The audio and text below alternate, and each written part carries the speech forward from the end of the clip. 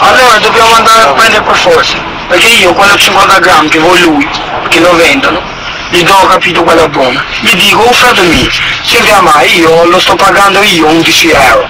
Se mi vuoi dare un punto a me, lo faccio 11,50, così esce un euro almeno per me. Sì.